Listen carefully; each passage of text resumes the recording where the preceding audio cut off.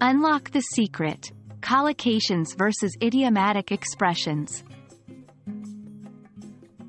Hello, dear English learners. Today, we're going to explore an exciting aspect of the English language. This is something that can really help you sound more natural in English. We're talking about collocations and idiomatic expressions. They're both unique features of English, and sometimes, they might seem quite similar.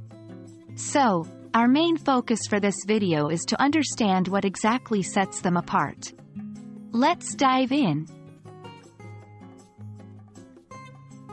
To put it simply, collocations are words that often go together. They just sound right to native English speakers.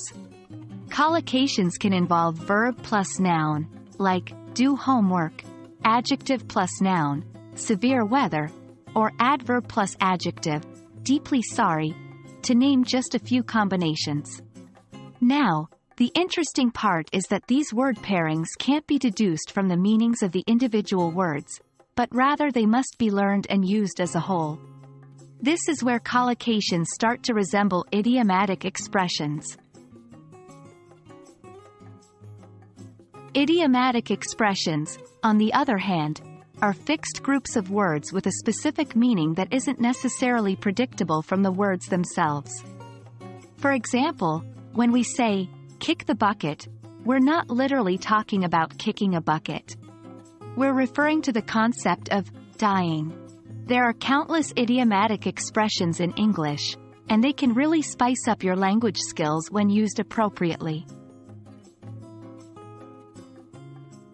Now, here comes the crucial part. What's the primary difference between collocations and idiomatic expressions? While they may seem similar as both involve groups of words used together, the key difference lies in the predictability of their meanings. With collocations, the meaning is generally apparent from the words themselves.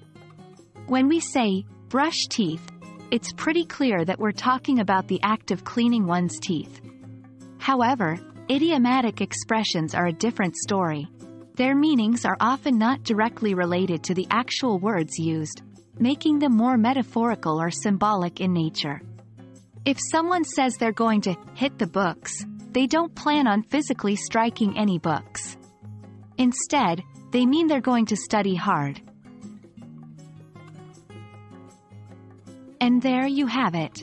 We hope this discussion clarifies the differences between collocations and idiomatic expressions for you. Remember, mastering both can greatly enhance your English fluency and comprehension. So, don't shy away from using them when you communicate in English.